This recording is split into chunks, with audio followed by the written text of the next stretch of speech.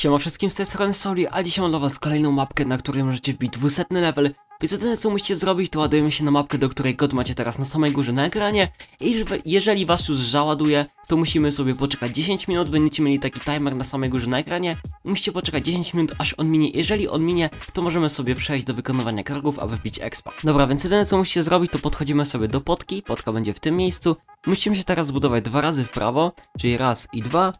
Teraz musimy się zbudować trzy razy w lewo. Raz, dwa, trzy. Siedem razy do góry. Jeżeli zbudujemy się 7 razy do góry, teraz 4 razy w prawo. I w tym miejscu będziemy mieli 4 przyciski, jeden będzie tutaj, klikamy sobie go, drugi będzie tutaj, trzeci będzie tutaj i czwarty będzie tutaj. I widzicie, dostaje masakrycznie duże ilości expa.